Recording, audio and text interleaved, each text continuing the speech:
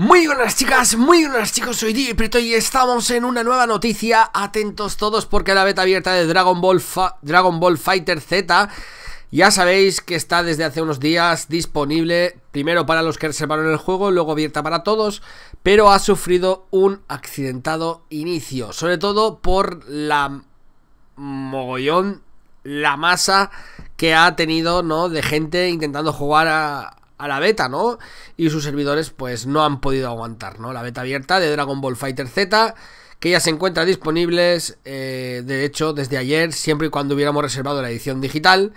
Eh, muchos son los que todavía no han podido disfrutar de una sola partida. La causa principal de esto es eh, un molesto problema de conectividad con el servidor, algo que ha llevado a Bandai Namco a tener que realizar ya un mantenimiento de larga duración.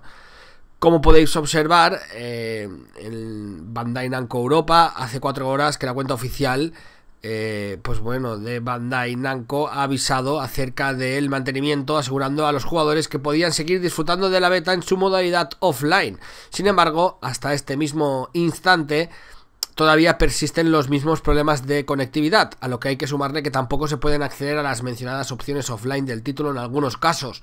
Eh, las, hay muchos tweets que podéis comprobar con la gente quejándose de la dificultad que tienen muchas dificultades para jugar, ¿no? Y sobre todo la jugabilidad, ¿no? Está afectada, ¿no? Debido a la inestabilidad de la conexión.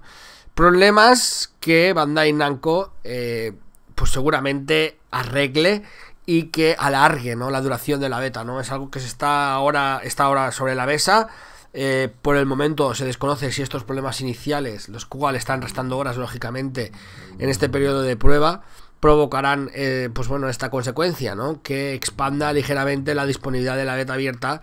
Eh, recordad que el juego llega a partir del día 26 de enero y pues bueno, esperemos que los servidores estén bien para ese día, ¿no?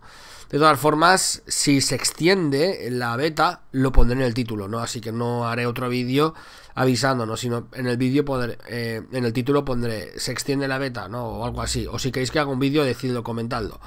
De todas formas, muchas gracias a todos por estar ahí. Eh, que sepáis que no es vuestro problema ni vuestra conexión, que es problema de servidores del juego.